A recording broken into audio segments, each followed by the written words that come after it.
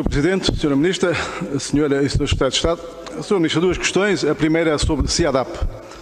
Como sabe, nas autarquias iniciou-se uh, recentemente o novo ciclo da, da avaliação, com as reuniões iniciais, enquanto se aguardava, ao longo destes últimos pelo menos cinco anos, uma reformulação, uma alteração, ou até para alguns uma eliminação do cur do CIADAP, não é a minha opinião, mas até para alguns a eliminação. Mas nada aconteceu.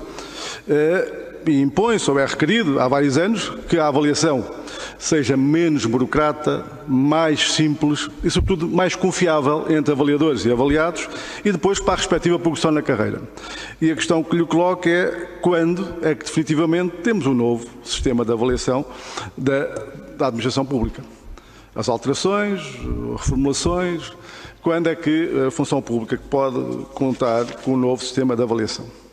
A segunda questão tem a ver com o Covid-19 e as medidas de apoio das autarquias. Como sabe, as autarquias, desde a primeira hora, estiveram no apoio à luta contra o Covid, eh, inclusive foram o de, de equipamentos para instituições públicas, desde hospitais, a bombeiros, a forças da ordem e sociais, lares e afins, mas também no apoio social às populações que se têm vindo a agravar nos últimos meses.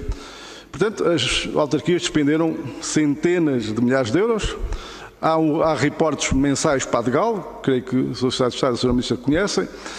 Tem alguma ideia eh, qual é o somatório das verbas que estão nestes reportes uh, mensais e que já vai quase com um ano?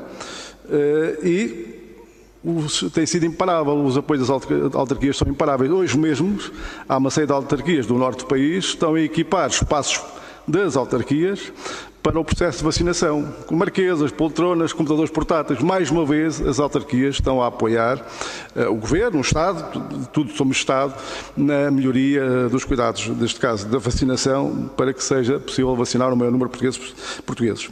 E a questão que lhe colocava uh, relativamente a este assunto é quando vão ser os municípios reembolsados das verbas despendidas no apoio ou na luta ao Covid, fora da sua estrita competência, tal como o Governo se comprometeu, vários ministros, a financiar ou reembolsar as, as autarquias desses montantes. Para quando? É neste primeiro semestre de 2021, porque até hoje, desde março do ano passado até hoje, já estamos quase com um ano, as autarquias receberam zero euros de apoio do Estado.